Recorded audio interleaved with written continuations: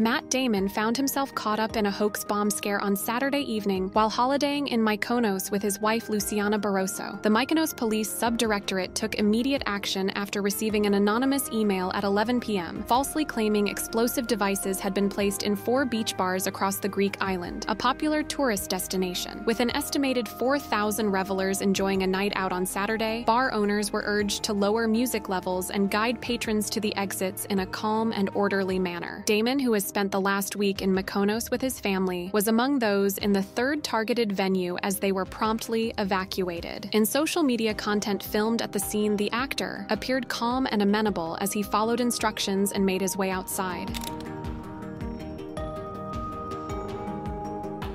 In the Paranga area, where two of the four beach bars were located, as many as 4,000 tourists were out when the evacuations took place. The subsequent demand for vehicles as customers left the scene sparked traffic jams on at least half of the island's roads. Describing the scene, one bar owner told a Greek news outlet Upon receiving notification from the police, we promptly reduced the music and calmly guided our guests to safety. It was a challenging situation, but we managed to maintain order. It was later confirmed by the local police that the threat was a hoax. Anitta faces a severe injury as she suffers pain like never before. The 31 year old Brazilian singer Anitta suffered a series of nasty injuries to her face and body when she was stung by a jellyfish while swimming. She reportedly experienced an excruciating sting as she described it by saying, A pain like I've never felt before after being stung in a cave in Ibiza, Spain. Anitta was exploring the island while taking a break from her European tour over the weekend. In an Instagram update, she showed the red marks the jellyfish had left on the right side of her chin and her forearm in a video. She told her followers, A jellyfish attacked me and I fought with it. I'm fine now, but at the time it was intense. It was a pain like I've never felt before before. I was literally electrocuted. The singer added, I burnt myself all over while punching it. It was an experience like no other. A news outlet reported that a man at the scene helped the award winning musician shortly after the sea creature stung her. Anitta said, The sailor removed the venom from my skin with a knife. He scraped it off, and the venom came out brown. I was laughing and screaming, a mix of emotions. After experiencing pain like that,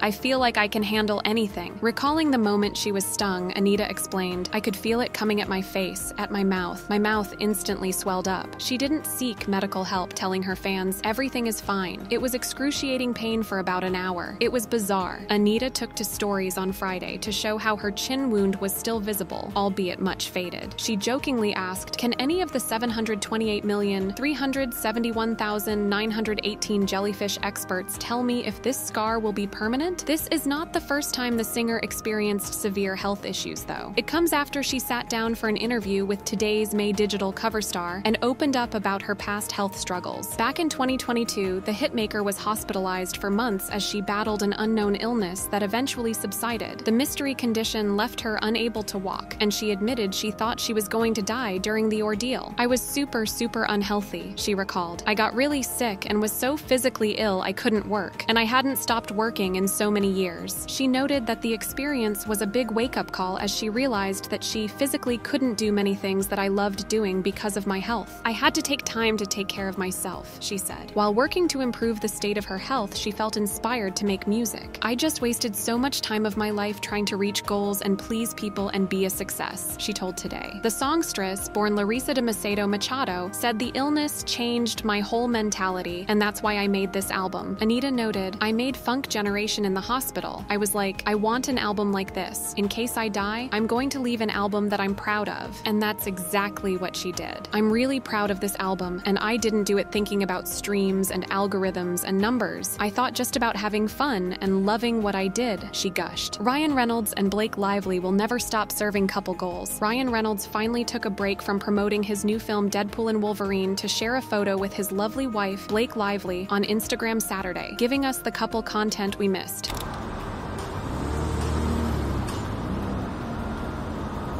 The 47 year old actor used the app's Stories feature to upload a close up selfie with the actress, 36. He wore round, dark brown eyeglasses, a dark baseball cap, and a dark t shirt, sporting a very light beard. Lively, who he wed in 2012, wore a red and white halter neck top as she nestled her head in her husband's neck. She reposted the photo on her Instagram account and joked, Stop missing me on your press tour. Get out there and hustle, boy, she clarified, which is girl code for don't you ever stop missing me for a second. It comes after earlier earlier this week, the silver screen siren poked fun at the teal suit her husband wore to a promotional event for his upcoming movie. Ryan interacted with British fans as he brought out Peggy, dubbed Britain's ugliest dog, for a Deadpool and Wolverine UK fan event at the Eventim Apollo. He said the small canine was also known as Mary Poppins, aka Dogpool. Afterward, Lively shared a clip of her spouse with Peggy on social media, along with a playful message SOS, he's trying to get me pregnant again, she wrote over a video, adding, Put the dog that you find adorable in spite of societal canine expectations away and take off that damn teal suit. Rude. Glen Powell vows to finish his college degree. Actor Glen Powell is determined to complete his bachelor's degree in Spanish and early American history at the University of Texas, even though he'll be in London this fall shooting Edgar Wright's remake of The Running Man for Paramount Pictures. I'm not going to be sitting in a class with other students on the regular. I'm basically going to be coming back because I have to finish up. The 35 year old SAG Award winner told a news outlet on Tuesday.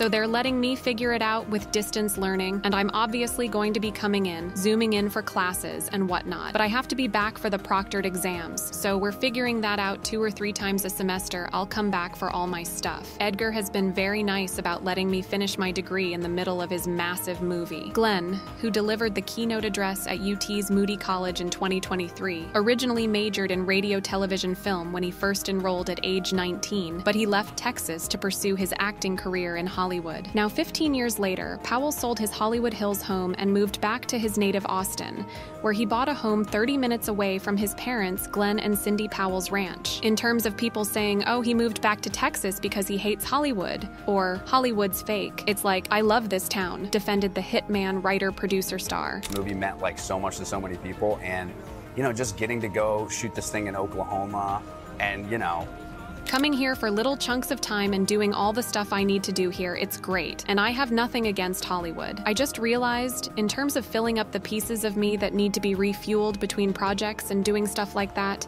that's all Austin for me. What an interesting life choice. There you have it, people, the latest and juiciest news of Hollywood served to you hot. Don't forget to like, comment, and subscribe to watch more such content. See you later.